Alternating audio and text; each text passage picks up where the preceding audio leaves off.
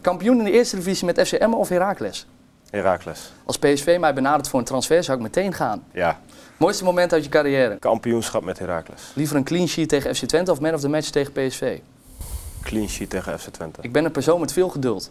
Zeker. Welke keeper kijk jij nou op? Neuer. Wat was jouw beste wedstrijd van dit seizoen? Eh, NSC of PSV, denk ik. Doelman zijn is de meest veel eisende positie in het voetbal. Ja.